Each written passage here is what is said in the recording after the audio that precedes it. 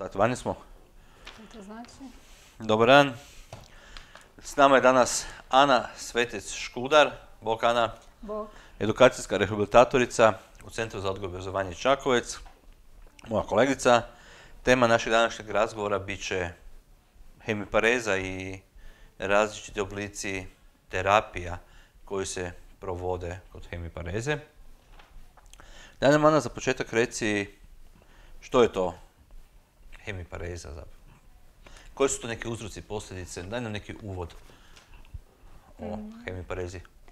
A, Uzroci, uzroci hemipareze, znači kao i kod ostalih oblika cerebralne paralize, mogu biti brojni. Uglavnom je to znači, oštećenje mozga koje nastaje iz različitih uzroka. Oni mogu biti genetski, infekcije, zračenja, meningitis, oštećenja kod poroda, nedostatak kisika, inzulti. Najčešće uzrok ostaje nepoznat, a rezultira motoričkim oštećenjem. Hemipareza je oblik cerebralne pa- paralize kod kojeg je oštećena jedna strana tijela. Mhm. Znači, zahvaćena su ruka i noga i mogu biti zahvaćeni mišići lica te strane. Uz to često idu govorno-jezični poremećaj, epilepsija, oštećenja vida, pa čak i oštećenja sluha i slično. Da, znači, dosta je to široki nekakav spektar pratećih izazova teškoća koje se javljaju uz to. Da, svaki slučaj je individualan. Na, o, nama je ovo roditeljski specijal, Ana osim što je edukacijsko-rehabilitacijski stručnjak, Ana je i majka djeteta, tvoj sin ima hemiparezu. E, kako je krenula ta priča s vama? Kad se uopće zapravo primijeti hemiparez? Da, da li te neko u, rodilištu veli, gle, neke se desilo ili moguće ili kako ti je izgledalo? Da, pa to je opet individualno. Znači, možda se kod nekog djeteta i primijeti u rodilištu, ako je trudnoća rizična ili ima nekih drugih neurorizičnih faktora, to dijete se prati od samog e, poroda i onda se na drugi način otkrije. U našem slučaju je trudnoća bila školska, uredna, bez ikakvih, e, znači bez ikakvog problema. A, porod u terminu, a, porođajna težina, sve u redu, Apgar 10-10, a, znači dijete je pušteno doma bez žutice, sa, ono, sasvim normalno zdravo novorođenče. Doma prvi mjeseci su ono, krenuli uobičajeno uhodavanje sa hranjenjem, spavanjem, poznavanje mm, roditelja sa bevom. I novim Už- i- ulogama? Molim? I novim ulogama? Da, i uživanje u toj bebi, normalno. Eh, kako smo mi krenuli, eh, primijetili, ja, sam- ja sam prvo primijetila da on češće okreće glavu u lijevu stranu. Ali to nije značilo da nije okretao u desnu, pa onak, pa možda mi se čini, pa možda nije. Znači negdje ono, iza drugog mjeseca, trećeg.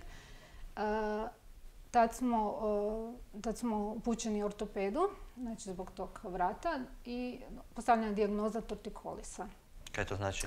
E, Tortikolis je znači kao iskrivljen vrat u jednu stranu. E, Kod djece, ako je prirođen, najčešće je, e, može biti stečen kasnije, ali to su onda drugi uzroci.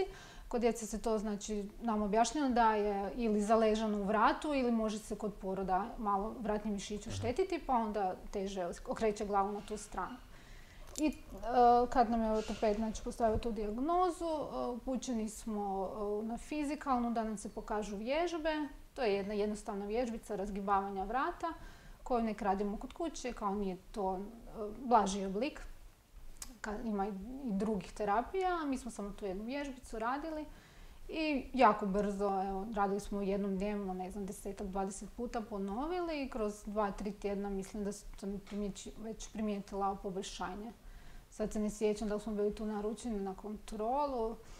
Uglavnom, kad smo to riješili, e, onda sam počela primjećivati, znači negdje dobi, tamo četiri mjeseca više, kako se dijete više počinje igrati igračkama, da on igračke uglavnom prima s lijevom rukom, a s desnom onako što lupka po zvečki i tako. Nije da on nju nije koristio, ali manje. Svaki put bi to primijetila i nekome rekla, pitam pa daj supruga nekog, da li, se, da li to primjećuješ, pa ne gleda, baš sad drži u desne. I baš bi se to tak. I tak, to je par tjedni ono bilo, je, nije, pa ne sad opet uh, dizat paniku. Ali sam ipak otišla, uh, mak ni pedijatri, mi smo igrom slučaja u tom periodu dva put završili u bolnici, jednom ja, pa on išao sa mnom i on. To je bilo baš ono prvih mjesec dana i, i kasnije. Uh, I tam su ga gledali svaki dan, uh, pedijatri, reflekse i sve, sve je bilo u redu. I rekao, ajde idem ja ipak tražiti uputnicu. I naš doktor nam je dao uputnicu, makar nam smatrao da ne vidi on tu neki problem s rukom, ali ako hoću nek, dao mi uputnicu za fizijatra i neko da mu preporučio. I mi smo se, naravno to se čeka, nekako smo uspjeli dogovoriti termin, što, što skoriji. I doktorica ga je pogledala, rekla je da, da to je, primijetila je znači da on manje koristi tu ruku, ali da je to vjerojatno asimetrija i nek napravimo ultrazvuk mozga i dođemo s nalazom. Kaj je to asimetrija? Aha, asimetrija je, uh, to je često se kod uh, novorođenčadi beba dešava, znači uslijed Kažu da svaka treća beba ima neko sitno moždano krvarenje prvog uh ili drugog stupnja. Ta krvarenja ne ostavljaju nekakve teže posljedice i najčešće uh, prođu nezamijećena, a kod, neki, kod neke djece mogu tu asimetriju uh, pokazivati kliničke znakove. Znači ako je oštećenje na ljevom, krvarenje na lijevoj strani mozga, dijete će slabije koristiti desnu stranu. Ali to se kroz malo vježbanja, te gimnastike za bebe jako brzo ispravi, a nekad čak i bez, bez vježbi. I ona je pretpostavila da je to kod njega isto slučaj, kao što je u 90% slučajeva to. I nek napravimo ultrazvuk mozga i dođemo s nalazom. I to da smo sad mi čekali, još je ultrazvuk mozga par mjeseci, ne znam kad bi krenuli s terapijom. Mi smo ga napravili privatno, neurologinja koja ga je radila rekla je da je to krvarenje prvog prema drugom stupnju, nešto blago, to vam nije ništa. Ne možeš sad, sad tu, sorry kad te prekidam, ali te stupnjeve spominješ vrlo često. E, koliko ima ti stupnjeva i koje su razlike? Četiri su stupnja. Ona generalno, e, prvi i drugi stupanj su ti blaži, s koji sam rekla koji mogu uzrokovati asimetriju, nekakve probleme s tonusom, hipo ili hipertonus. A za treći i četvrti se smatra da su to već ozbiljnije oštećenja koja će imati trajne posljedice. Ali to u pravilu ne mora biti, koliko sam čula Ok, to je knjiški recimo. Tako je, tako. Najčešće treći četvrti bude cerebralna, ovi prvi drugi ne, ali kažu da ima djecu s teškim, e, s lošim nalazom ultrazvuka pa na kraju ispadnu da nije neki problem, a ima prvog, nekad prvi, drugi stupanj mm. budu kasnije neki teže oštećenja. No, uglavnom, naš je kao bilo prvi na drugi i ona je rekla ništa se to ćete riješiti s malo vježbica. Poslije u životu će možda imati problemi sa slovom R i L, s izgovorom. S čim?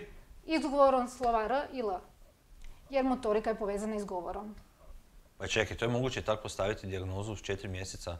E, to je bila pretpostavka, da se ne moramo bojati, da ćemo motoriku riješiti, jer je to sitno Jedino možda će još imati s govorom, RL tamo kasnije, ali to ćete kad dođe vrijeme za to. No, super, ako je to najveći problem, RL, da. nije na kraj pameti da bi to nešto bilo ozbiljnije. I mi smo s tim nalazom došli fizijatrici da ga pokažemo. I ona to pogleda, a da, da, to je ono što sam i mislila, ništa, idete jednom tjednu na bobat vježbe, tu kod nas, dva mjeseca, doma radite koliko najviše stignete i to bi ona je pretpostavila da bi se kroz ta dva mjeseca, ako bi mi to stvarno uh, puno radili, trebalo vidjeti na kontroli. Naručila nas je na kontrolu. I tad smo krenuli na te bobat vježbe. I velim, jednom tjedno, on je tu jako plakao, nije surađivao. Zbog čega?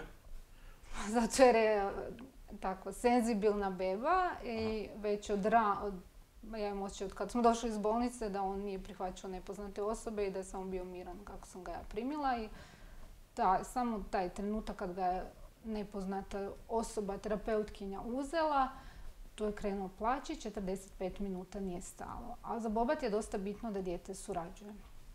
I on je valjda jedna od rijetkih beba koja je toliko plakala na Bobatu jer se Bobat smatra neinvazivnim, vrlo čak i zabavnim za bebe jer se koriste igračke, dosta se pusti dijete da samo inicira pokret. Kako je to terapija? Možete malo opisati? Bobat je znači, neurorazvojni tretman koji ima za cilj znači, inhibiciju patoloških pokreta, lošeg tonusa i facilitaciju onih pozitivnih, normalnih, dobrih pokreta i popravljanje tonusa. Mhm. Jedan dio bobata je i handling, to je nama kao edukacijskim rehabilitatorima poznatije. On se odnosi na pravilno rukovanje djetetom, dizanje, spuštanje, pravilno držanje, oblačenje. A ostale su vježbe, to rade fizioterapeuti naravno sa završenim tečajima, koje prate djetetov razvoj, znači onako kako, ovisno o dobi. Male bebe idu, krenu s vježbicama draganja desnom rukom po lijevom ramenu, lijevom rukom na desno rame, znači da se prelazi ta centralna linija, da se rotiraju s leđa prema boku, kasnije preko boka na trbu, s trbuha na leđa, da koriste obje strane u tome. I kako se dijete razvija, tako se i vježbe mijenjaju. Kad krene faza puzanja, vježba se puzanje, Aha. postavljanje u četvronožni položaj, posjedanje iz, iz četvronožnog položaja, pa posjedanje iz ležećeg položaja. Naravno, uvijek se potiče da koristi oba dvije strane u svemu. I kasnije onda dizanje u visoki klečeći, pravilan iskorak u u stojeći položaj, pa kreće bočni hod, pa onda do, do prohodavanja. Ajmo reći, pa onda dalje idu druge vježbe. Dobro, i vi ste dobili taj bobot, znači da provodite koliko? Do daljnjega ili? Dva mjeseca, do sljedeće kontrole. Da. I ja sam to doma puno radila, meni doma nije plakao, nije bilo problema, znači ono, svo vrijeme kad on nije spavao ili jeo, uh, ja sam vježbala s njim. I nakon dva mjeseca smo došli na kontrolu kod fizijatrice i ona nije bila zadovoljna. Tad se zapravo, ne da nije bilo pomaka, nego su te neke stvari tek izašle na površinu tek se onda vidjelo u potrebušnom položaju koji on odbijao koliko stisne ruku od tijela. Mhm. Znači nije uspružio, nije se udizao na njoj, nego je povukao. To, to se, ajmo reći, kao pogoršao u tom periodu, makar je on počeo rotirati jer smo to stvarno puno vježbali i krenuo se rotirati s trbuha na leđa s, preko oba dvije strane. Što je znači puno? To doslovno satima? Da, satima. Ne znam sad no, koliko je beba kroz dan budna i koliko ne doji svo to vrijeme.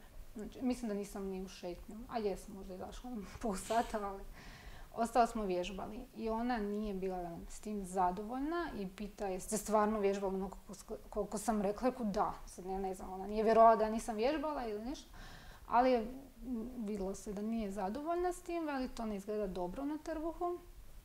On je tad već bio sedam mjeseci, da, i to bi već trebalo biti puno bolje.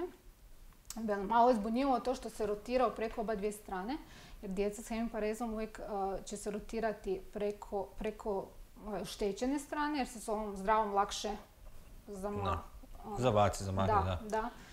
A on je oba dvije koristio. Tako da je to onak, bilo je pre, pre, pre loše za asimetriju, a malo možda predobro za hemiparezu. Tako da, i tu je ona postavila neku sumnju, rekla meni da bi, ja rekao, dobro, ako nije asimetrija, vidim da niste zadovoljni što može biti, mogla bi biti hemipareza i rekla je tad da nema smisla više čekati i raditi bobat, nego treba njemu vojta. Vojta terapija. Uglavnom ja tu malo bila u šoku, mislim ne malo nego puno. Zbog čega? Zbog same činjenice da je moguće da je... Spomena hemipareze koja mi do tad nije, nije padala na pamet uh jer smo mislili da je asimetrija. Da. To je bilo prvo nekakvo suočavanje s tim da je možda nešto ozbiljnije. Ali još nije bilo stopo. Možda možda. mm I rekla mi je za Vojtu. Ono što sam ja o Vojti znala, uh, ne znam, je to jednostavno tak ne, neki stereotip o Vojti, kog sam čula od roditelja da je ona agresivna i, i, i teška. Što sam znala kao stručnjak je da je to terapija koja ne vježba dijete normalne pokrete poput bobata, nego koristi refleksnu lokomociju. Znači ima deset zona na tijelu koje se pretišću te točke u tri poža, na leđima, trbuhu i na boku i na taj način se potiče da, da mozak sam pokrene one urođene obrazce pokreta. Aha. Evo, nekako bilo kao da je to nešto teže od, od bobata. I ona je rekla, uputila se odmah na Vojtu. Ali je Vojta terapeutkinja koja nas je e, putila iz Kleća je tad bila na godišnjem, tri tjedna. I sad je meni to bilo grozno. Čekati tri tjedna, ono, bobat, nema smisla da više radim ako ne pomaže, ali da tri tjedna čekam, sad to mi je bila cijela vječnost. I krenula da vam proučavati što bi mogli. I kako sam još bila onak, da li stvarno ta Vojta ili možda onako razmišljala da ću mi to moći i kako to stvarno izgleda. Našla sam jednu uh, privatnu terapeutkinju koja je i Bobat i Vojta terapeut. Rekao, ajde idemo otići kod nje za to vrijeme dok čekamo da se ova vrati. Uh, čisto da ju pitamo da li je to njeno mišljenje da, da, da mu stvarno treba Vojta ili možda da kombiniramo ili da krenemo već kod nje s Vojtom kroz ta tri tjedna. Došli smo, žena ga je pogledala, složila se s tim da to je hemiparetski obrazac, ali ne možemo znati da li će biti hemipareza jer se te dijagnoze postavljaju tek s tri godine, ali on vježbati treba.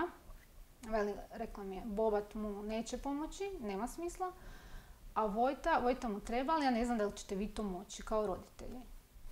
Kako ona to procijenila, ne znam. Zaključila je da smo preosjetljivi i pre... Ne, Prenježni. prenježni, naravno da smo bili, jer smo bili u užasnom strahu i željeli smo doći k nekome da nam veli ne, ne, nije vam to hemipareza, da nas neko utješi, a ona je to potvrdila i sigurno nismo izgledali super u tom trenutku. I otišli smo od nje, ono, nismo pričali. Čekaj malo, vaš susret s njome je završila na tome, to je hemipareza, ali Vi to ne, da, ovo vam nema smisla, ovo nećete moći i ajmo dogovoriti termin za idući tjedan da dođete k meni da krenemo s Vojtom kao, ipak da probamo, ali, ali odmah u startu nećete moći, ali Da. i ona nama upiše neki termin, ne znam, to smo se dogovorili mi smo sjeli u auto i veli, tako do, do doma nismo pričali. I onda kad sam malo ušla sebi, pospavala dijete i razmislila si, ja sam rekla mu suprugu, inače sam ja sve to dogovarala, s obzirom da sam bila doma i te termine. Rekla sam mu, uh, gle, ja ovoj ženi više ne želim ići, jer ako neko meni unaprijed veli da ja to neću moći, onda ne vidim smisao, nije mi to, uopće me nije motivirala. Uh, ne želim čak ni nazvati više, molim te ti samo nazovi i otkaži taj termin. I to smo napravili. E sad opet moramo čekati ovu Klajićevoj. Onda ja umeđu vremenu nalazim po tim uh, forumima i svugdje da žene spominju Karolinu kao izvrsnog bobat terapeuta. To je gospođa Karolina Župetić sa uh, Goljaka, glavni terapeut. Radila je privatno u Savolu tad, poliklinici Savol. I čak mi je prijateljica rekla, ona je sa malim uh, kod nje vježbala nešto, on ima manjih problema, veli ona ti je odlična, odi k njoj. I onda smo se naručili u Sabol i žena je isto potvrdila mi se da to je hemipareza. Bila je izrazito pozitivna. Naravno, ona je boba terapeut, o Vojti ne zna puno i ona je samo za bobat i rekla je da ona ne, vi- ne vidi zašto bobat njemu ne bi pomagao, ali da on nije radio dovoljno uh, stimulirajuće vježbe, da je on trebao ići puno naprijed. To je vježbe koje je radio, da su za manje bebe, on sad Da. već kao trebamo ga u sljedeći položaj, treba i ona je njega u tih sat vremena i posjela, ja ga to tad nikad nisam i uspjela ga stabilizirati u tom sljedećem položaju. E, stavila ga odmah u četvrnožni, šta se čeka, on mora tu ruku opteretiti, mora osjetiti i da krenemo polako s pripremom za puzanje. Puzanje je kod njih najbitnije, e, pogotovo kod hemipareza, da tu je prisiljen koristiti tu ruku, znači i vježbati ju. I rečeno kad propuhuza to će biti super, će on tu sam sebe vježbati. Hodanje ne treba inicirati čim kasnije, ali puzanje je jako bitno.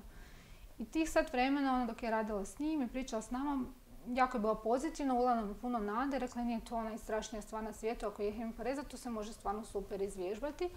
I mi smo išli doma zadovoljni. On kao, oj, ima hemipareza, ali nije to strašno. vi ste se to svaka dva tjedna vozili s drugčijim raspoloženju doma, a? Od Da. drugog stručnjaka. Da, da, da. Od nje smo išli pozitivni. Znam da me mama zvala i pitala kaj ste obavili, kaj je rekla. Rekla, je, rekla je da je hemipareza. A mama, a mama šokirana, znači je. Ali da je rekla je da to nije strašno. Kao da, rekla je daj Bože da mu je to najgora stvar koja će se desiti u životu. Veli, samo mi je žao vas mladi ste, prvo mi je dijete da ne možete sad s njim uživati i hodati.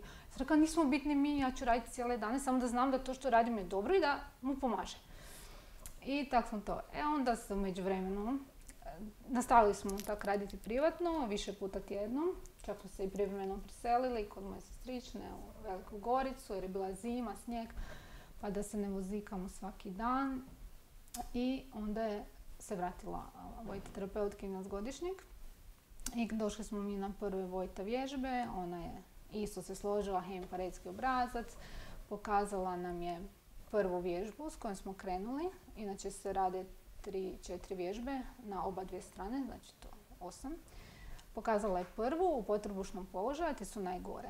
Jer dijete... U kom smislu najgore? Najgore za dijete? Za dijete, za dijete. Jer leži na trbuhu, glava mu je dolje i on ništa ne vidi. A ja mu pritišćem, ne znam, lakat i petu recimo, ili neke druge dvije kombinacije točke. Ruka mu je lijeva, desna dolje ispružena i cilj je da ja pritiskom izazovem refleksno da on ruku izvuče van. A dobro, znači to treba biti dobro pritisak. Pa nije, nije stvar u jačini pritiska, nego u mjestu, i, znači u pravom mjestu, točki i smjeru pritiska. Znači, to, je, to je refleks. Znači ako je ruka dolje, on je refleksno vukao gore. To smo trebali postići s tom prvom vježbom, kasnije ćemo druge da odjednom ne počnemo sa svima da se i on prilagodi i ja. I ona je rekla, Vojta je teška za roditelje, jer dijete plaće. Teško ti je raditi nešto dok dijete ne plaće, nego urla. Ali to će se, ono, priviknut ćete se i vi i on, bolje dok je manji. Rekla je, toga ne boli, neće imati nikakve posljedice. Ja sam ona pitala za ono emocionalno, koliko je to dobro, jer on je dijete koje nikad nije plakalo, jer sam ja reagirala na svaki plać i ono, sve potrebe zadovoljavala i sad odjedno moram raditi mu nešto zbog čega on plaće. Ona je rekla da su istraživanja pokazala da su ta djeca čak poslije emocionalno zrelija, jer su od početka navikle na nekakav red, rad mhm. i shvate da to nije strašno i steknu povjerenje u roditelja s vremenom. On zna da kad to završi da ću ga zagrliti i da je dalje sve ok. I objasnila me kako to, da se radi tri puta dnevno kod kuće, pa, pauza mora biti četiri sata između. Znači Svaki dan? Svaki dan tri puta s pauzom od četiri sata. Radi se oko 20 minuta, možda više, ovisno o namještanju koliko se sad dijete opire, ali recimo 20 minuta. Ali kad se odradi, još nekih pola sata e, je to aktivno u tijelu. Znači kad se to sve zbroji, ispada da on vježba puno više. I e, s obzirom na ovih više satno vježbanje bobata, ovo se činilo kao puno manje.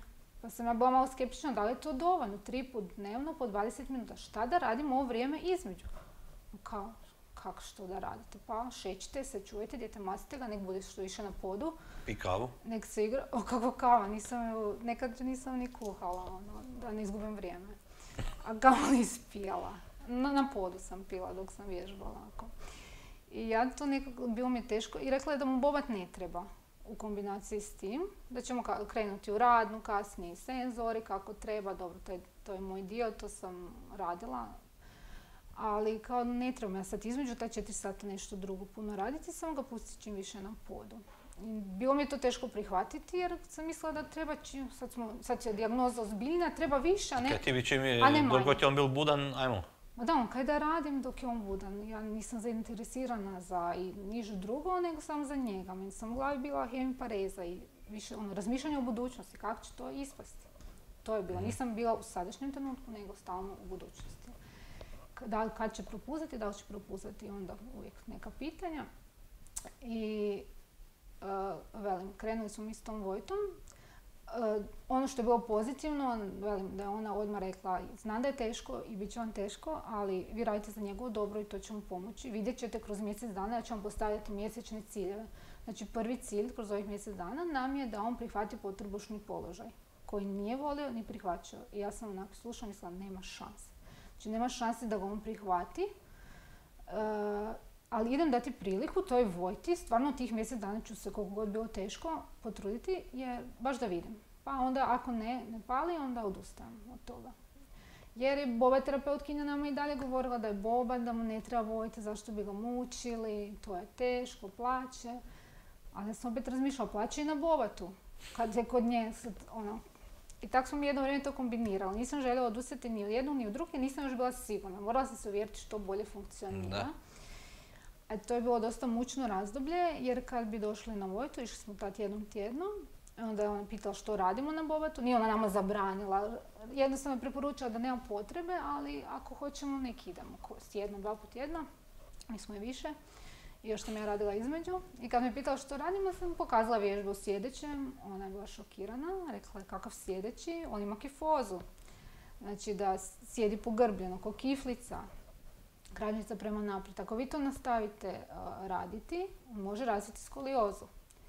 Pozvala i doktoricu da dođe dolje i da nam ona kaže i rekla je ne ga ni slučajno posjedati. Onda dođemo ovaj, na bobat, kažemo rekli su nam da ga ne posjedati.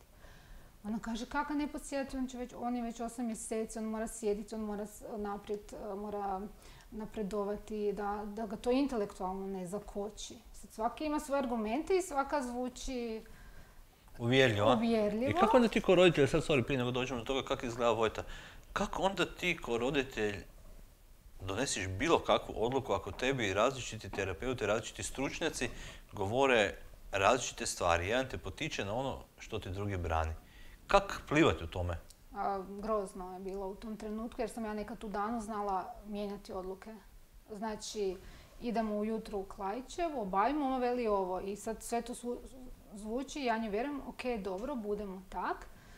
I onda dođemo ja vam rekli su nam da ne posjedimo i onda ona svoje, onda opet možda ono pravo. Ja tak sjedim i gledam ga i razmišljam kaj da radim, kaj da radim. I sad su moje sestrične, njena obitelji, te, teta je tamo znala biti, svi su nam skakali, teta je kuhala, samo da ja mogu cijelo vrijeme, znači radila tri put dnevno Vojtu, onda bi još jedan sat išli na bobat i između još ja radila bobat. I onda ona bila koliko on plaće na toj Vojti i njoj je bilo žao. I onda mi je sam govorom daj nemoj, daj vjeruj toj Karolini rađe, to je, to je ipak malo izgledalo mm. kao njoj lakše. Tako dolazila sam na trenutke onako napast da odustanem od Vojte stvarno jer ja svaki put kad sam se s njim približila stolu, tad sam radila na kuhinskom stolu, on stala neku prostirku, kad smo se samo približili stolu, on je već počeo plakati. I tako da, ono, to je bila ta faza kad je bilo teško. Ali se desilo to da je nakon tri tjedna on stvarno prihvatio potrbušni položaj. Kad sam ja vidjela da sam sam okrene na trbuh i igra na trbuhu duže vrijeme, jer je tad mu je već uh, bio bolji tonus ruke i njemu to bilo teško i naporno, mogao je izvući ruku naprijed, a to je bio cilj tih prvih vježbi. I on se tu igra i vidim to funkcionira. I onda me to ohrabrilo i dođemo k njoj i velim, evo, to se stvarno desilo. Ona veli, dobro, super, idemo dalje. Sljedeći cilj nam je da se on počne odizati od podloge kako bi se postavio u četvronožni to. Ja nema šanse, opet to. Opet dam priliku... Dobro, ti si istila stav, nema šanse, a? Da, da, tako je to izgledalo u tom trenutku, da, ono, kao nemoguće. I, jer ona dva mjeseca nije bilo nekih pomaka i sad kako ćemo mi kroz tri, četiri tjedna to postići, sam, sam s tom malo stiskanja. Ali da, desilo se to da se onda odizao i onda je bilo i da počne pivotirati, to je ono kretanje na trbuhu lijevo mhm. desno. I on se kroz dva, dva mjeseca, možda malo više, vojte, do sljedećeg, svaka dva mjeseca smo tam, tad imali kontrolu kod fizijatrice. Znači on je prihvatio potrebušni položaj, dignuo se na ruke, postavio četveronožni i propuzao dan prije kontrole ali smo to puzanje i kroz bobat jako puno vježbali. Baš je mhm. bilo. To je bilo plać, plać, ali on, on je puzao uz Kako vježbaš puzanje? Kako to izgleda? znači, postavi se četveronožni i onda ona gurne lijevu nogu i to njega potakne da pogurne lijevu ne, kontra, dijagonalno, drugu ruku. Onda gurneš drugu nogu i on drugu ruku. Ti ga zapravo gureš kod tačke? Da, u početku radiš praktički umjesto njega. Aha onda s vremenom počne sam ruke, ti samo noge, onda s vremenom već i, noge počne. Ona ga je znala pred kraj već samo držati ovako malo na leđima, na jednom dijelu, na krajištima i samo s dva prsta da on samo osjeti da ima nekakvu podršku. Kad bi maknuo prste, on stane. A to je trajalo, trajalo dugo. Nama to malo mu još treba, ali to, to mu je trebalo. Recimo ja taj dio nisam mogla s dva prsta a on bi tak puzao, ali nikak da sam. Ali kroz suze, da nije toliko plakao, vjerojatno bi. I onda jedan dan kad ga je postavila i ona krene i on mene pogleda, ja sam bila na drugom kraju tepi, tepiha kao da ide prema meni, to je bila motivacija. I on tad nije plakao, nego je krenuo sam i dopuzao do mene. To je bilo s 11,5 mjeseci, pamtim taj datum, kao što neki roditelji pamte datum prohodavanja, ja ne, ja pamtim datum puzanja. I kad je on dopuzao do mene sam, to je bilo to nekako prvo olakšanje i taj prvi cilj kojeg sam onak stvarno mislila da nećemo nikad ostvariti jer je, to, velim, to su dva mjeseca, ali meni su djelovalo oko dvije godine. Kako izgleda ta Vojta? Zbog čega on plakao cijelo vrijeme? Zato djeci nije ugodno biti u nekom određenom položaju koji oni moraju zadržati do dvije minute i ništa ne raditi. Znači na mobotu ga možeš zabavljati s igračkama, u radnoj terapiji koristi igračke. Ovdje nema ništa, on samo leži u određenom položaju, ti pritišćeš te točke koje, to ne boli, ne smije boljeti, ako boli znači da prejako stišćeš. Uh, znači pritisak mora biti onako umjeren, ali, ali je nelagodno. Jer izaziva neki pokret, refleksni, koji njemu možda nije ugodan u tom trenutku. I valentena trbuhu su najteže jer ne vidi, glava mora biti dolje. A radi se obično, ne znam, dvije, dvije vježbe na leđima, dvije na boku i ta zadnja uvijek na trbuhu koja je najteža. I te vježbe si samo ti radila s njim doma ili još neko? Da, u početku sam samo ja radila jer je mene educirao, ja sam bila doma. E, S tim da smo imali faza kad je bilo stvarno teško i kad se jako opirao, opirao i mislila sam, da nisam mogla, onda bi suprug srećom radi doma u obiteljskoj firmi pa je mogao onako skočiti s posla tih 20 minuta da ga zabavlja. Znači ja sam radila, on ga je zabavljao na sve moguće načine, svašta smo prošli, muzike, nešto, ili s igračkama nešto glumio, Da. samo je pričao, jer ja nisam mogla se koncentrirati i na rad i na zabavljanje njega i tak bilo tih nekih kritičnih faza kad sam mislila da, da nećemo više moći, ali smo ih izdržali i onda, ne sjećam se sad od koje dobi on je prestao plakati i da sam ja mogla raditi normalno sama, bez...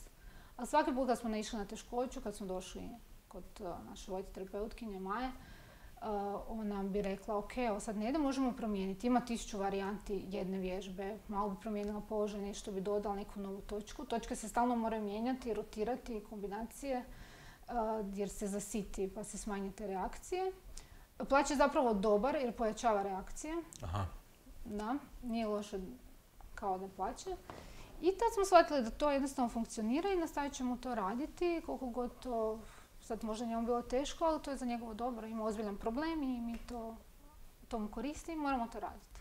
Kako su ti rekli ukućani dok su čuli da ti malo ga pipkaš, ovo je urla? Pa velim, govorili su mi joj da odustani. Svekrva kad bi došla, slučajno otvori vrata, o vježbate, idem ja. Ja Rekao, ne trebate, pričekajte. Ne, ne, ne, ne. Znači, svi su se micali od toga da ne slušaju taj plać. Ja se nisam mogla jedno maknuti. Ja sam ga morala slušati, ali prala sam se da ne čujem, štopala sam si vrijeme i jednostavno sam to ignorirala. Bilo mi je bitno da odradim. Ali su se navikli svi, ono, i gosti, i prijatelji, i uža, i šira obitelj koji bi došli, znali su da mi vježbamo i mi smo vježbali i za- dok smo imali goste. Prosto ja imam vrijeme da odradim, nije to sad remetilo na život. I ja sam, onda sam shvatila s vremenom da ne, ne moramo stvarno vježbati cijeli dan i da mi u ta četiri sata između možemo otići kud hoćemo i da mogu dolaziti ljudi i mi možemo u goste. Uzeli smo tu prostorku, odradili smo to kod mojih ako su bili. I koliko, koliko vam je trebalo da dođete do toga, od ovog početnog straha i želje za stalnim vježbanjem do toga da shvatite, ok, dovoljno je četiri put, pa imamo vreme za sebe, to je tri puta. Da, tri put. E, U tom periodu kad je propuzao. Aha, Znači na 11,5 mjeseci, ta prva kontrola, kada je doktorica vidjela "Veli, što ste vi u dva mjeseca postigli, to je čudo. da, Znači, bubica, ok. dobro. Dobre, dobre. I onda se strah smanjio, onda smo znali da će biti. Tad smo smanjili bobat, nismo ga htjeli prekinuti, prebacili smo se kod Karoline na Goljak i išli smo i dalje uh, jednom tjedno ili jednom u dva tjedna jer smo tad i radno ubacili, pa smo imali jedno i drugo, radnu terapiju. I kao da ga ne maknemo skroz jer ne znam ko zna, možda dođe neka faza kad Vojta, us- ja sam se bojala kad poraste, kad se bude jače upirao da neću moći fizički. Do kad ste provodili tu Vojtu? Još uvijek ju provodimo. A još uvijek ju Osam pro- godina, Znači, osam godina provodite Vojtu. da. da. I do kad to treba provoditi? Pa ja ne znam, nema to. Do kraja raste i razvoja definitivno. I to je svaki dan i dalje, tri, tri put dnevno? Ne, sad je dva put. Kad dijete krene u školu, onda se smanji. Tri put je ono u početku bitno za napredak, dva put Aha. sad je smanjeno, ne može to stići vremenski Da. u danu, dva put. Jednom bi bilo dovoljno za održavanje nekog postojećeg stanja. On je sad u fazi rasta jako je bitno da radimo dva put dnevno jer se može doći do pogoršanja u tim fazama. Znači to je sad ovaj period prvog razreda kod dečkiju i ono u pubertetu kad naglo narastu. Znači ono, dok on naraste, tu moramo definitivno, definitivno raditi, a poslije Rade i odrasle osobe. Ne znam, vidjet ćemo kako bude situacija. Da li će to ili će samo baviti nekim drugim sportom pa će sam mm. održavati to stanje.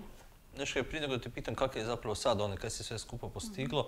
nas je spomenulo ono uredna trudnoća, uredan ovaj, uh, Abgar i slično. Koliko je taj broj tam koji to on veli važan ili nije važan? Pa za nas nije bio važan. Jer, velim, njegov tonus je bio kao u redu. I na kontrolama kod e, refleksi su bili uredni. I poslije kad smo se krenuli um, kod neuropedijatrice uh, kontrolirati, isto nisu refleksi nešto posebno, malo su kao pojačani bili. Mhm. Ali da, da, sljedeći ultrazvuk mozga je pokazao da je ipak prema trećem stupnju. Aha, znači nije bio onaj prvi, drugi? Ne, da, jer se to mijenja. Zato se rade kontrolni ultrazvuci. Znači dok se ne zatvori fontanela, ne znam sad kad smo se zatvorila, do te, tog perioda se rade i dalje ultrazvuci jer se to mijenja. Znači može se povlačiti, ali ovo je pokazalo da je ipak prema trećem i da je ta komora jedna možda malo proširena. Tu je taj dio za desnu ruku, zato me ruka kao jače zahvaćena. I da. Kako je sad nakon 8 godina? Sad je super. Znači, nakon svega što smo prošli, on je sad super. Znači, to je minimalno. Noga se... Mislim, ljudi ne primijete. Često ni liječnici ne primijete ako baš se ne fokusiraju nogu uopće. Znači, bilo je predviđeno da će noga hempareze obično hodaju na prstima, ako ne skroz bar malo, ili bar trče na prstima, on ništa od toga. Znači, hod je odličan. U početku nije bio kad prohodao, oko druge godine. Trebalo je dosta vremena da se to usavrši, da, da on ravnotežu lovi. Dosta je padao i nije se baš oslanjao potpuno na desnu nogu. Sad je to minimalno i ono, stvarno teško vidljivo. A ruka je ostala ono koliko mislim ima još, fina motorika je zapravo još problem. Ali on kad nešto želi, ne znam, slaže legiće, onda ju koristi. Kad ju ne treba, onda ju ne koristi. A kad ju treba koristi? Kad ju treba, onda ju koristi i puno toga može. Evo sad on se oblači sam, većinu stvari radi sam, još nismo vezice vez, vezanje vezica uspjeli, ali sve ostalo on, on odradi sam. Malo teže, ali, ali ide. Piše ljevom rukom, normalno koristi u, u, većini stvari, ali desna mu je ono, dobra pomoćna ruka. Da. Nije loše, nije stisnuta, tonus je onako minimalno ostao, tako da on je super. Ajde, baš drago mi je, drago mi je to čuti. E, sad sam ovdje pričala si da ste vi neke od tih stvari radili u sklopu javnog zdravstva i da ste neke stvari rješavali privatno. Odnosno ne na uputnicu, nego na keš ili karticu. E, kakva su ti iskustva s javnim zdravstvom, a kakva s privatnim? Ima neke razlike, nema? Puno ste toga prošli, budemo pričali još o različitim terapijama i metodama koje ste prolazili, ali prije nek dođemo do njih, do njih ovo nam je nekakav uvod u to. Sve ovisi na koga naletiš negdje. U nekim stvarima, evo ja kažem, recimo Maja, volite terapeutkinja, kod nje smo krenuli u Klajićevoj, dok je bio beba, u onom podrumu u kojem je radila u užasnim uvjetima. Ona je bila divna tat, i divna je danas, a recimo prošle godine radi privatno u poliklinici Fatorini. Znači, to je do osobe. Znači vrhunski je stručnjak u svojem području, ona je, ona je instruktorica za vojte terapiju, ali i vrhunski psiholog i nama podrška i njemu, znači i stvarno, velim, ona je ista i u, i u javnom sustavu i, i danas privatno. I kad mi je javila da daje otkaz u Klajićevo, ja sam prvo pitala kud idete, dolazimo za vama, svejedno. Nema šanse da bi sad mijenjala nakon osam godina jer ga ona zna u dušu. Ona ima njegovu motoriku i sve ostalo. Ona zna o čemu je pričala s njim prije dva mjeseca. Mhm. Ako su nešto, on veli njoj idemo u kino sad poslije, ona je njega sljedeći put pitala kak je bilo u kinu i koji film. Ja se ne sjećam da smo bili. Znači, ja sam neka gledala da nađem osobe koje su na mene djeluju pozitivno i da imaju tu neku dobru energiju, jer mislim da onda će i za njega to biti dobro. Nema smisla da je nekom kome ne vjerujem ili mi nije, ne sjeda. A stvar javnog sustava, gle, išli smo i fizioterap, uh, fizijatrici toj koja je sad privatno u javni sustav i kod neuro, neuropedijatra smo još u javnom. ima divnih ljudi, Klajčeva stvarno, ali da smo mi čekali sve, prvi pregled fizijatra, prvi utro. Sad radimo EG i preglede neuropedijatra u, u Klajčevoj.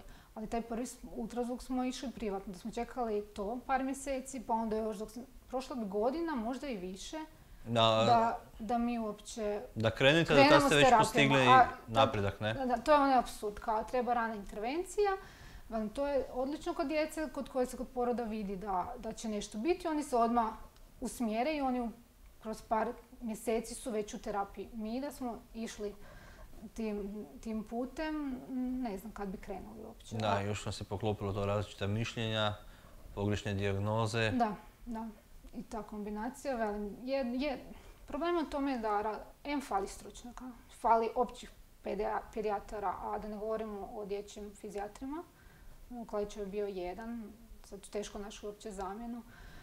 Na Goljaku uopće teško doći na red isto, na taj dan kad se zove za termine, cijeli dan zauzet e, ta linija. I onda te kontradiktorne informacije. Znači, dva mišljenja totalno različite uvijek. Treće, treće. Vojta i Bobac, znači smo sad pričali, ti si meni rekao kad smo se pripremili, kad smo razgovarali tamo u skavu, da ste vi prošli puno različitih terapija, odnosno više različitih terapija, metoda. Koje ste stvari još prolazili? Znači, osim toga, mi smo se odlučili za Vojtu, ja sam e, sigurna da ona njemu, e, nama više odgovara. Ne kažem da Bobat nije, za nekog drugog možda Bobat više, kod njega je Vojta funkcionirala i odgovara uklapa se u naš život i to smo si sve prilagodili tome i posložili. A onda smo htjeli provati još neke stvari. Ne znam, čuješ za nešto pa onda neko tvrdi da je sve čuli? Super. Pa prvo smo išli na ABR. To je, to je što? jedna danska metoda, dubinska masaža vezivnog tkiva. Cilj je da se, da se ojača vezivno tkivo da bi ono moglo pratiti uh, mišiće. Uh, to je supruga želja bila. On me molio da idemo na to. On je kontaktirao neku mamu, predsjednicu mm. neke udruge u Rijeci koja mu rekla da je to super, pa mu je dala kontakt tog jednog terapeuta iz Beograda i on, kao on s njim čuo, on njemu rekao da će to biti sve super, ako ćemo raditi jedan i pol sat dnevno, da bi se to moglo jako dobro popraviti. Čak on, ja nisam tome toliko vjerovala, ali on me molio daj to radi mene. Idemo na tri dana dolje na taj tečaj da vidimo ništa. Mislim, košta financijski, ali kao možemo se to priuštiti, pa on, ajmo te tri dana. I naša ta boba terapeutkinja isto bila zainteresirana za tu metodu, rekla da njoj dobro zvuči. Išla je ona s nama, išla je moja sestra, kao idemo svi to vidjeti. Mogli smo... Gdje ste to išli, u Beograd? Ne, u Rijeci. Aha, došao u Rijeku. Na tri dana tu smo imali pregled, neko predavanje i terapije. Bili smo tri obitelji, troje djece i tu smo radili Četiri vježbe su, nije puno vježbi, ali svaka se radi po 20 minuta na dvije strane, to ispada neki sat i pol do dva sata dnevno. Malo čudno izgleda da to vidiš onak sa različitim nekim jastučićama, spužvicama, komadićima, ono, suđerice. Se, to se onak nasloži, na primjer djetetu na prsa i onda se pritiše do određenog momenta, pa malo staneš, pa još malo pritisneš, pa popustiš, pratiš djetetovo disanje uglavnom, to se suprug kao više educirao, ja sam išla s kao podrška. I da će Makar i Benjamin tam, on je već bio tad dvije godine i lagano prohodavao. Mi smo vježbali jedni na drugima, on je puzao okolo. uh Smo bili u nekoj senzornoj sobi i nije, nismo ga mogli zadržati da leži toliko sati. Tako da smo mi to vježbali jedni na drugima. E, nismo baš bili zadovoljni tom organizacijom i sve skupa, ali dobro, to je jedno iskustvo. Nisi nastavili taj ABR ili On je to krenuo doma kad smo došli, dobili smo te materijale, ali nije išlo jer je Benjamin taman prohodavao i sad ga zadržati, konačno, godinu dana je mhm. puzao i djete se diglo na noge i krenulo hodat, bio je izrazito miran uvijek. I sad je konačno krenuo neku inicijativu za pokretom, istraživanjem i sad ga mi držimo da leži. Svašta smo pokušali, tad smo i tablet kupili, kao da bi on malo gledao crtiće za to vrijeme, ali nije išlo. Suprug je to jedno vrijeme Pa sam rekla nek probamo dok spava, ja sam rekla ne dam ga dirati dok spava, nek bar spava u miru, onak dosta vježba. I to smo odustali. Možda je, bilo je dijete recimo koje, koje je ležalo skroz, koje nije se uopće kretalo i ti roditelji su radili neko vrijeme, rekli su da su zadovoljni. I kako imao i respiratorne probleme, to mu je pomagalo kod disanja, da lakše iskašljava, da ima rijeđe te komplikacije, infekcije. Velim, mislim da je dobro za onu djecu koja, koja leže i s kojima se možda da ne može nešto onako u pokretu. Da, ali mi smo u krivom trenutku Mhm. krenuli s tim.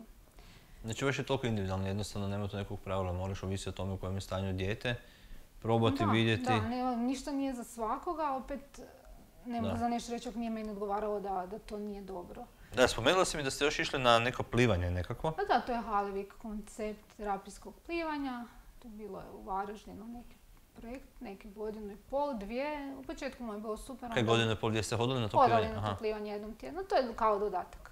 da. Do- da, dodatak terapiji, bilo mu je dobro i odjednom mu se više nije dalo.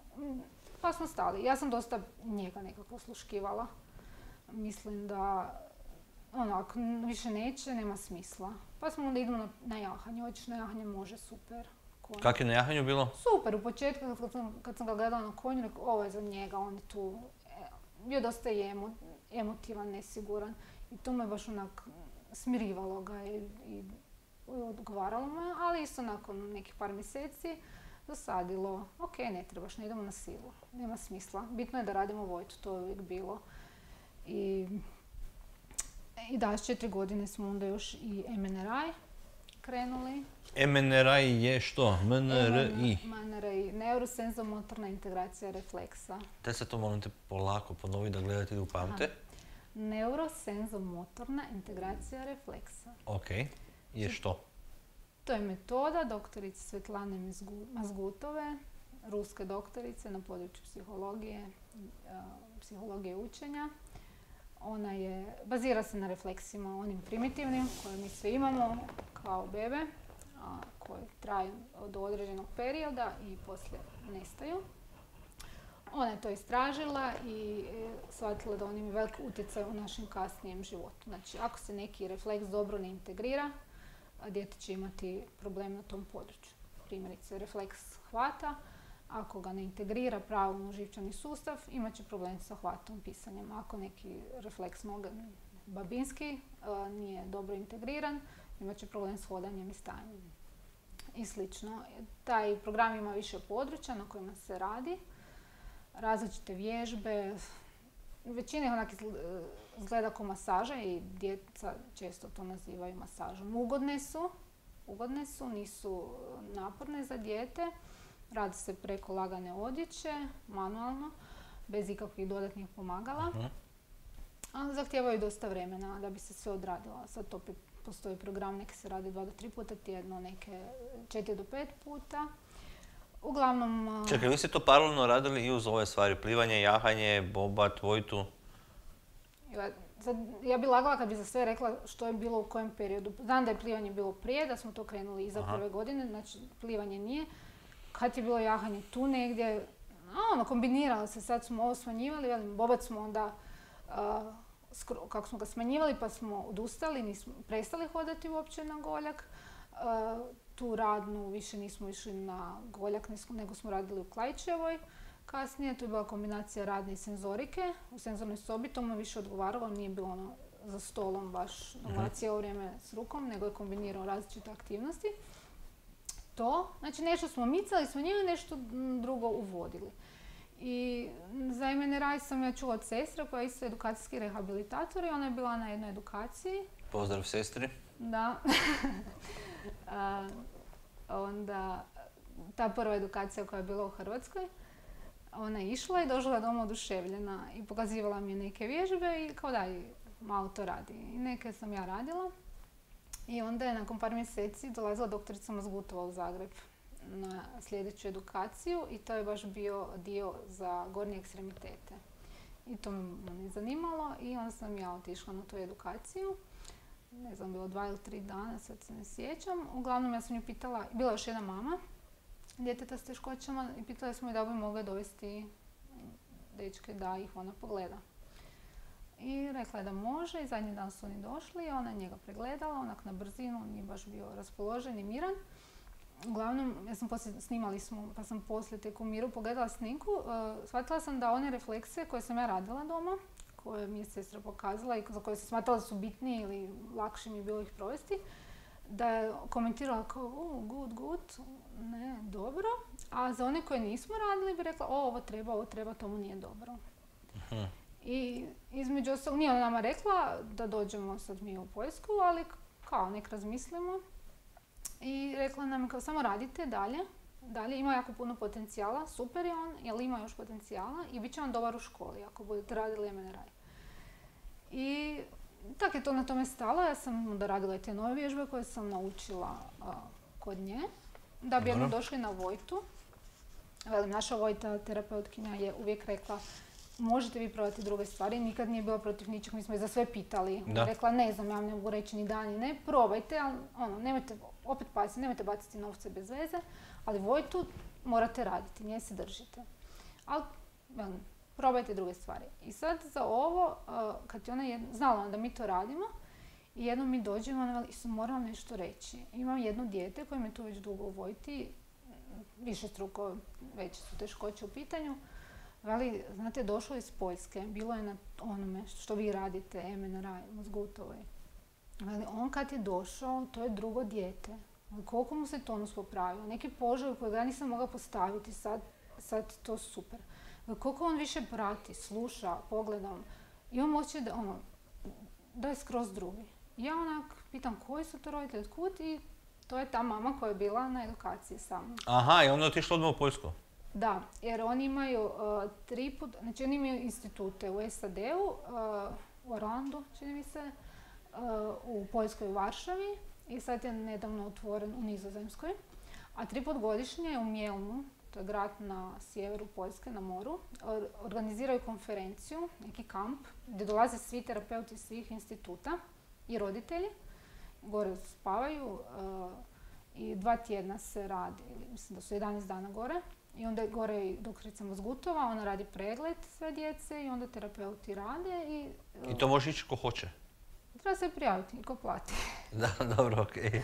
da. Došlo, pitat ću te to. Da, ona je, išla, ona je uglavnom išla na to. I, on, I došli smo do toga da je to ta ista mama. I ja rekao, molim vas, dajte mi njezin broj. Ako se ona slaže, pitajte je da ja nazovem. I tako se mi čuli, mama veli da nije požalila, da nek idemo, da je stvarno super. I, i kad je Maja rekla, veli ono, dajte. Evo, prva stvarno koja nas je potaknula, sve ostalo onak bilo, ne morate, ali ovo je rekla dajte, jer sam stvarno iznenađena. I onda smo ono, prek noći odlučili i Otišli u Poljsku. dogovorili. Doktorica nas gotovo je meni dala svoju vizitku, rekla ako se odlučimo, nek se javim direktno njoj jer se dugo čeka. Ja nisam htjela na taj kamp gore, jer to kao roditelji stiču da je super, ono i gore šeću, ovo, mene ne zanimaju šetnje, ja hoću biti prisutna, to hoću naučiti. Jer desilo se toj mami da je došlo do poboljšanja, ali morala opet, jer nije vježbe naučila, jer Aha, da. nije imalo ko provoditi dalje, a? Da, neke stvari nije popamtila, pa je morala još jednom da, da, da vidi. I onda smo se dogovorili i otišli smo, pitali nas koji termin nam odgovara. Smo se dogovorili tam iza Uskrsa, to je bilo prije njegovog četvrtog rođendana. Igrom slučaja i mene zove jedan tata i pita me isto, čujem da vi idete u Poljsku te i te mame, oni se znaju. Rekao, da, imamo termin, 11.4. Veli on, pa mi isto. Isti let za gore dolje. Znači, ova mama je bila prva iz Hrvatske koja je išla, mi smo bili drugi i treći. Meni je bilo užasno strah, e, ono, sad voditi ga dijete tako daleko, ako ne bude pomaka, smisla, bez veze ga maltretirati. Bilo se teško odlučiti, ali kad nas je mama potaknula i ta mama i kad ovi rekli da idu i oni, to mi je bilo super, ono, i blizu nas žive, i- igrom slučaja. I kak je bilo? Otišli ste gore i... Pa bila je to jedna avantura i bi- bilo je lijepo. Sve u svemu je bilo lijepo, znači, velim, smo to organizirali, smještaj, let i sve, došli gore u nedjelju, u ponedjeljak ujutro, u 8 smo trebali doći. E, Krenulo je, nismo znali kako to 100% izgleda, mi smo mislili da ide neki pregled prije, ali ne, oni ne pregledavaju, e, samo doktorica Mazgutova je ta koja radi pregled i refleksa, ona nije gore. Oni samo e, rade odmah na refleksima I svaki dan se radi znači, četiri terapeuta, rade četiri, četiri dijela područja MNRA, dva put po sat i pol, dva put sat vremena, između su kratke pauzice, pet minuta, jedna malo duža ono, za ručak. Znači, mislim da smo bili, ne znam, od 8 do 1 ili 2, tak nešto. Uh, bilo mu jako naporno, jer on nije, mislim, opće tako malom djetetu teško objasniti, pojmiti to vrijeme koliko on mora ležati na stolu za masažu i... Čekaj, on cijelo to vrijeme leži. Da, da. Kako ste ga na to nagovorili? Mi smo objasnili, mislim, on je bio dijete koje je prije vježba. I nije mu Aha. to sad strani pojam, sad je ovo samo nešto novo. Ići ćemo gore, možeš vježbati i... Poslije dobiš Nisam ga mogla pripremiti jer ja nisam sama znala kako Ne, to daj 100% priznaj, s čim ste ga kupili? On ti rekla. Došli smo, radili smo sat i pol prvi. Prvi turnus, bio je dobar. Nije to njemu bilo puno, velim, naviknut je. To je bio prvi taj terapeut koji je radio, ja sam bila zbunjena, dobili smo neki priručnik, pratim to, gledam, ne kužim koja je sad to vježba, ovaj puno ne komunicira, malo mi je bilo sve skupa čudno. I sad je, velim, imate pauzicu 5 minuta, oni se jako drže vremena, znači od, ako je ovo od 8 do pola 10, to je na minutu, tu nema kašnjenja, nema da on završi minutu prije, nema javljanja na mobitel, nema ničeg, cijelo vrijeme se radi, ne staje. I mi izađemo van tih pet minuta, da malo udahnemo zrak, ja njemu stavim trenirkicu, kako je bilo hladno, on misli da je gotovo. E, To smo kao dobro završili. I kad on shvati da je to, i on ne, ali još tri put, imamo još tri različite vježbe, sad se vraćamo, samo smo išli malo na pauzu. I onda počeo plakati i dobro, onda smo obećali legiće. A, legići su. Legići, da, uvijek pale. Dobro, hvala Bogu, za njega su super, tu jako dobro koristi ruke. To smo obećali da ćemo mu kupiti i tako smo ga održavali do zadnje. Bilo je dobro, osim na zadnje, zadnje uvijek ima orofacijalne. To se radi na licu i jedan dio u ustima. I to je bilo teško tražiti ga da otvori usta, da mu se dira jezik i to. To smo malo teže odradili. Ali smo izgurali. I onda ništa u centar Varšave, dva sata vožnje busom, metrom, po Legiće. Mi smo bili iscrpljeni. Čekaj malo. Nakon šest sati ili koliko tog Da, vježbanja dva sata smo ste putovali. išli dva sata kup- da kupite legiće. Da, pitala sam terapeutkinju di ima legiće, onda mi je objasnila i sve mi je nacrtala, o bože. To je glavna ulica, ali valjda ima 20 km do tog shopping centra. On je spavao u onim kišobran kolicima, sreća da smo ih uzeli, jer ne znam. I kupili smo legiće, ja sam mm, toliko bila iscrpljena, toliko to gledaš, hoćeš sve noći, nema šanse da ja to u dva tjedna sve pohvatam, koliko je tog bilo. Aha, i vi ste isto bili dva tjedna gore u Poljskoj? Da, dva Aha. tjedna. Može se na tjedan dana, može na dva. Kad već idemo, idemo na dva. Teško da bi u tjedan dana baš to sve naučila. Suprug je njega zabavljao, ja sam pratila i pisala, pitala i tako. I onda smo to kupili i onda, da, drugi dan opet on očekuje legiće.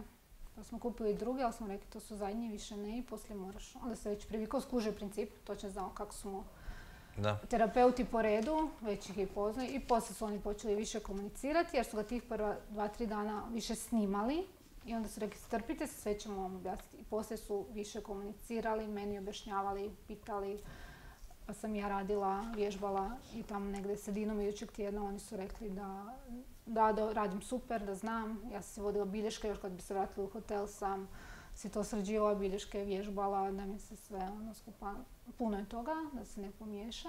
On je to prihvatio, shvatio taj raspored i ono, zadnji dan mi smo jednostavno plakali, grlili se, opraštali s terapeutima, koliko smo se tamo I kak je generalno, koliko vam je to koristilo, koliko vam je taj MNRI pomogao? E, pomoglo je. E, Znači njega je naš Maja, ovo je terapeutkinja, snimala ga je prije, dobro ga je pregledala prije odlaska i nakon povratka. A mi smo gore već krajem prvog tjedna, ja sam primijetila koliko mi je desna ruka mekša kod oblačenja. Znači spazam, laktus se dosta smanjio. I kako nismo još u govoru, ali u međuvremenu je on imao i teškoće, govorno-jezične teškoće, elemente dis, dizartrije. Znači kad smo krenuli gore, u toj fazi govor bio, bio imao je rečeničnu strukturu, ali rečenica je bila totalno agramatična. Redoslijed riječi, ono, loš. Većinu riječi duže, duže trosložne, Da. recimo bi a, ponovio, izgovarao samo prvi slog i dva puta ga ponovio. I imao je neki svoj vokabular koji je koristio i jako rijetko bi ono neke nove riječi A gore sam primijetila pred kraj tjedna da on koristi neke riječi koje doma nije, a nije ih imao od koga čuti jer je komunicirao samo s nama. Mhm. A ovo, ostalo je bilo na engleskom i, i poljskom. Tako da to smo već gore primijetili i je pomoglo. Velim, smanjilo je tonus i to je terapeutkinja primijetila i svi doma. Tonus ruke je smanjilo, govor me jako, jako puno pomoglo.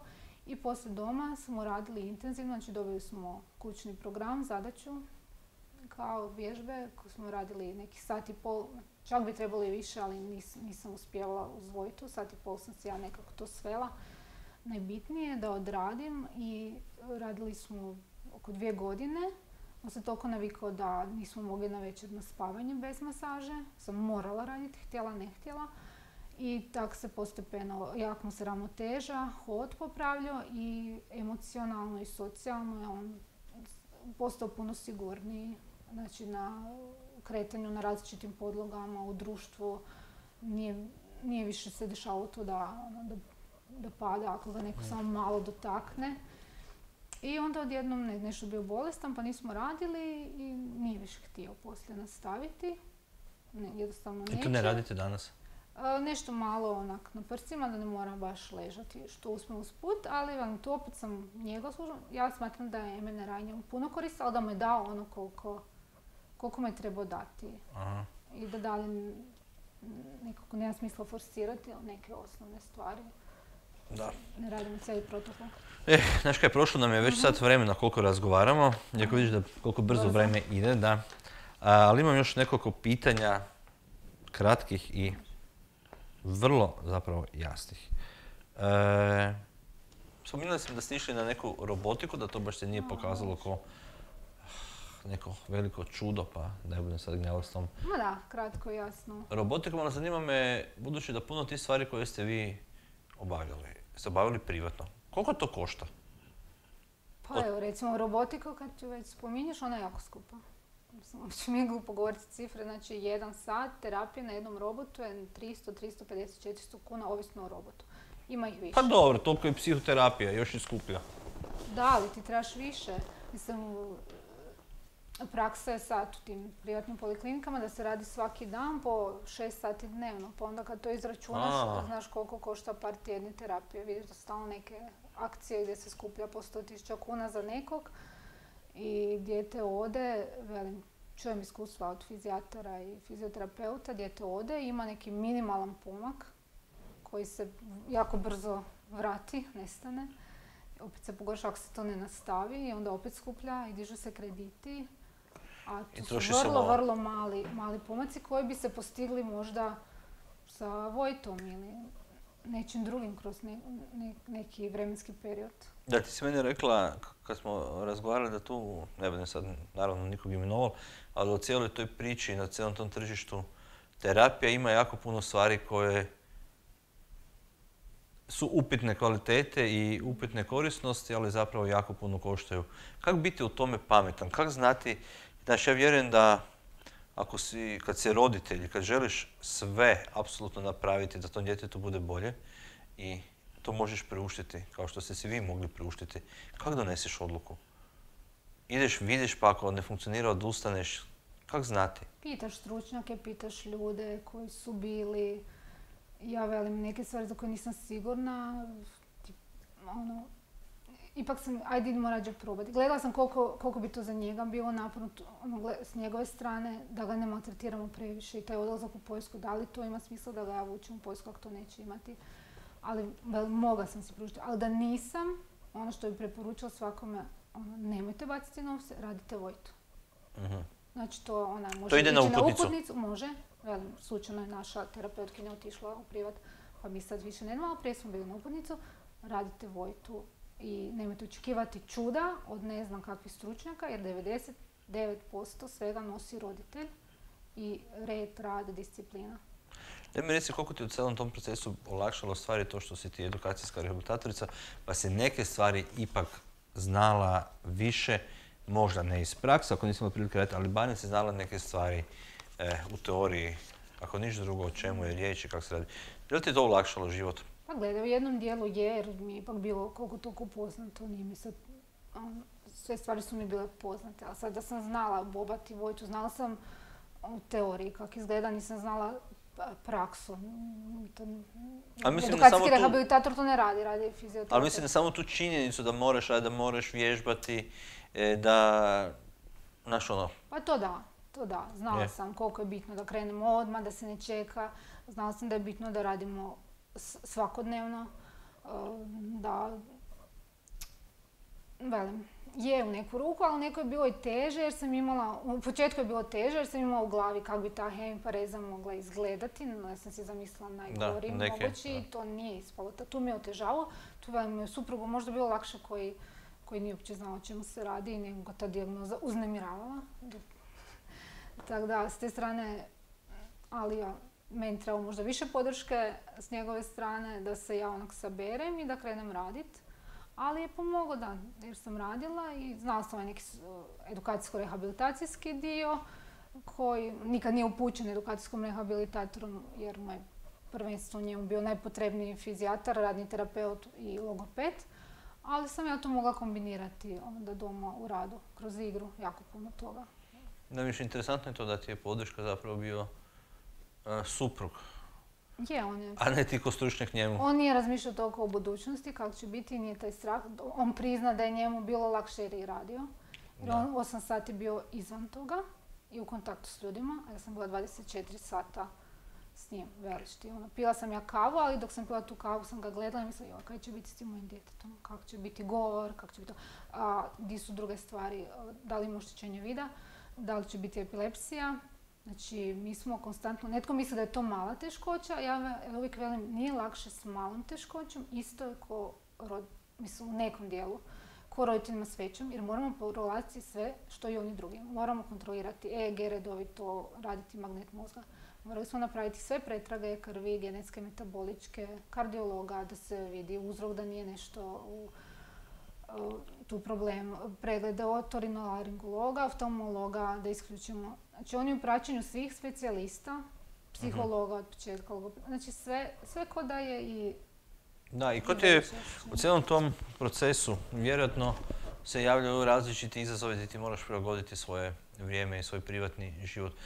Da li tu ima i nekakva podrška, podrška za tebe i supruga kao roditelje? Da li to uopće postoji u sustavu? Stručna podrška ne. Da, da to mislim. Ne, to ne postoji.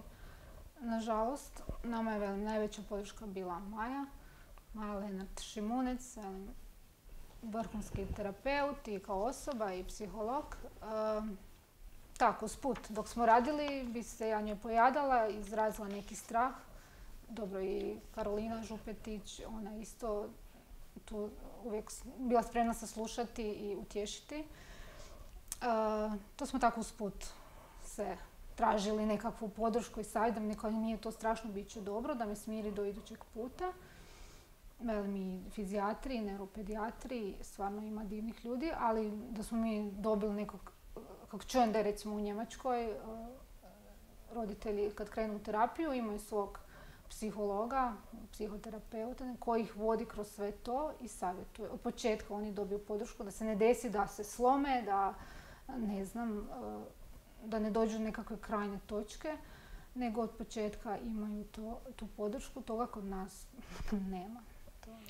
Da, dobro, mislim da bismo s tim mogli i završiti, ali prije nego završimo, već sam te pital kak je tvoj mali sad, rekla si da je dobro, ide u školu, ili je? Je super, evo, završio prvi razred, jučer zadnji dan škole, odličan je učenik, evo, iznenađuje me, pogotovo u Hrvatskom, s obzirom na te govorne teškoće koje smo imali, on je sad, mi smo logopedsku terapiju zapravo zaključali, nema mhm. potrebe, s onom dijagnozom dis dizartrije, priča odlično, gramatički, užasno ga zanima jezik, proučava, stalno pita nešto.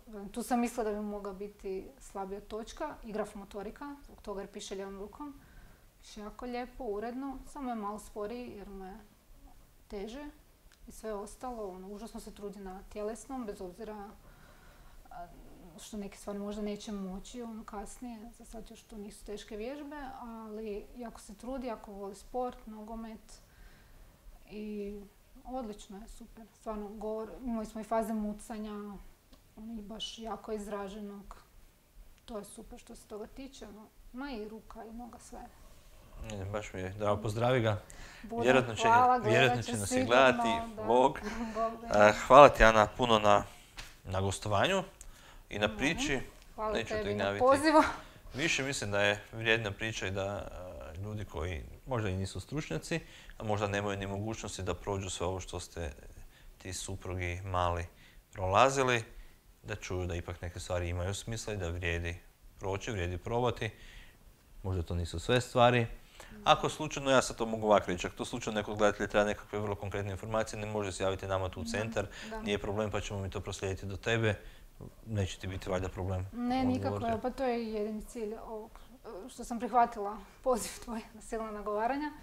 Velim, ako pomogne jednim roditeljima koji se nalaze u sličnoj situaciji, ja sam sretna, zato sam i tu, ne, zato da... Znači, zovite, gledajte ako vas zanima Facebook centra, web centra, pretplatite se na kanal Ana Hvala, a vi adio. Bog.